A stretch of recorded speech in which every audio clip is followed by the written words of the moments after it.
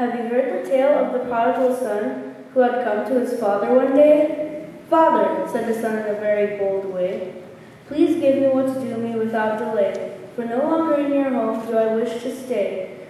I long to enjoy things found in the sun, and to have myself plenty of fun. How grieved, how sad his father became, even though his heart was full.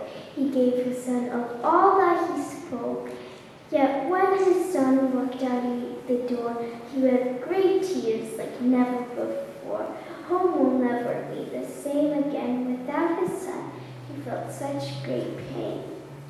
Out in the world where the boy did go. He squandered his father's wealth, no doubt. He was now free, with much coin to hand out. It was so much fun that the boy gave a shout. At last, unable to spend and hand out, pockets full of money to those without. But soon as the boy had no coin to show, his so-called friends had left him.